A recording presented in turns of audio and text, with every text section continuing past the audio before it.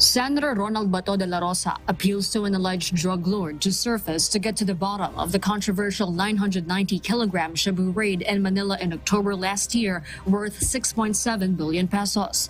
This as the Senate Committee on Public Order and Dangerous Drugs adjourns its inquiry on Tuesday, May 30, without knowing the real source of the illegal drugs.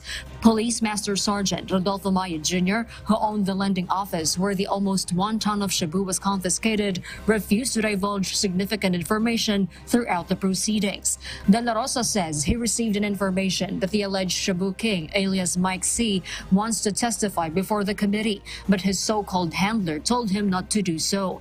Police Lieutenant Colonel Arnulfo Ibanez, who was the boss of Mayo and the contact of alias Mike C, denies that he was the one who tipped off the alleged drug lord.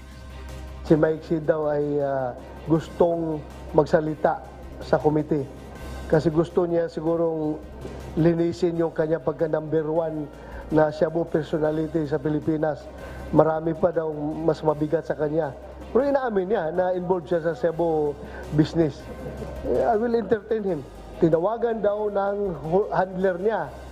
At ah, ngayon, hindi na makontak The lawmaker says he is willing to reopen his panel's investigation should the alleged Shabu King surface. Meanwhile, De La Rosa believes former Philippine National Police or PNP Chief Rodolfo Azurin Jr. is off the hook from the controversy. This was after former PNP Drug Enforcement Group Chief Police Brigadier General Narciso Domingo revealed that they did not include Mayo in the initial report for a follow-up operation that led to the 6.7 billion peso Shabu raid. Pero bago ako umalis ay kinausap ko ulit sila Colonel uh, Ulunan at Colonel Ibanez na okay na kay dating si PNP ang follow-up operations na gagawin. Sinabihan ko rin ang ground commander ko, Police Lieutenant Colonel uh, Ulunan, take charge. 9.32 p.m.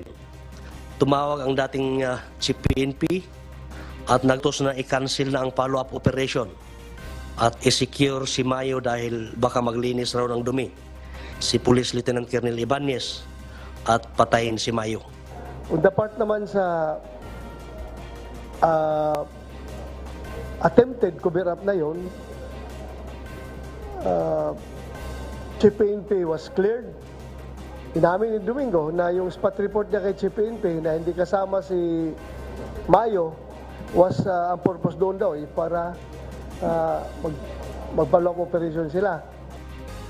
De La Rosa, who is a former top cop, says he is leaving the investigation up to the PNP and the National Police Commission to dig deeper and solve the issue. Jorge Delgado, UNTV News, Andres Q. We serve the people. We give glory to God.